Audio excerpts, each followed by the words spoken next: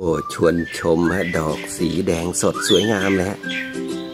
แต่ดูฮะดู ดอกเฮี้ยนไปเลยฮะเนี่ยเนี่ยมีรอยแคะ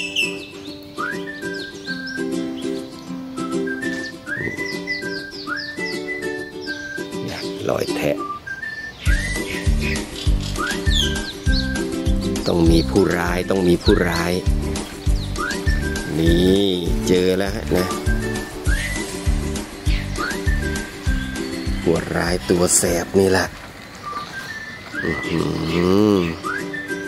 ดูฮะ มีความสุขเหลือเกิน มาปล่อยอยู่กับธรรมชาติฮะ อยู่กับวัชพืชที่เราไม่ได้สนใจ เดี๋ยวก็กลายเป็นผีเสื้อตัวสวยๆอีกไม่นานนะ